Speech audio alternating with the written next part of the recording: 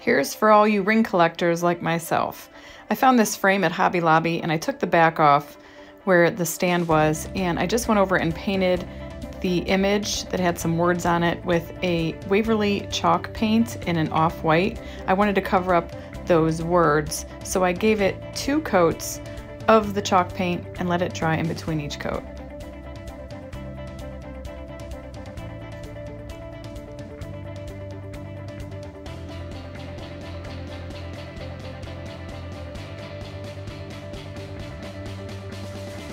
Once I had that nice and dry, I took some paper, a really pretty floral from the Decoupage Queen.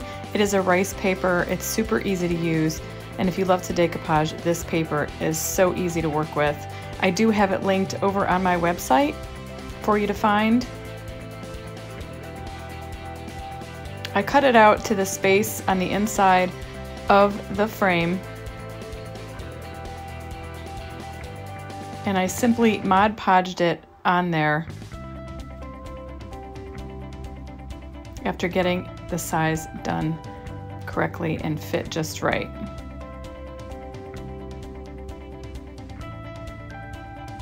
The rice paper from Decoupage Queen is so easy to work with. You don't get a lot of wrinkles. It's a little bit thicker and it's just awesome stuff. Definitely go check them out. I laid that down and then went over it with another coat of Mod Podge to seal that rice paper down.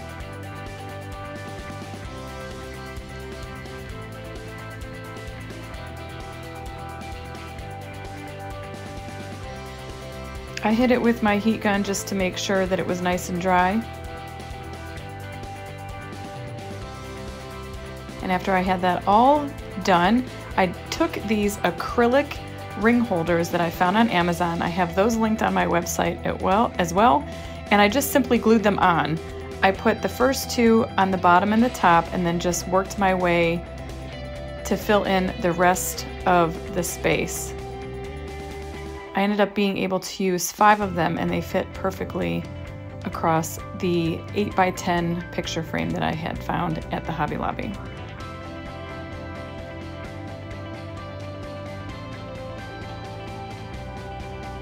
I then added on some of my favorite Totally Dazzled bling to the top and the bottom just to give it a little bit of glam.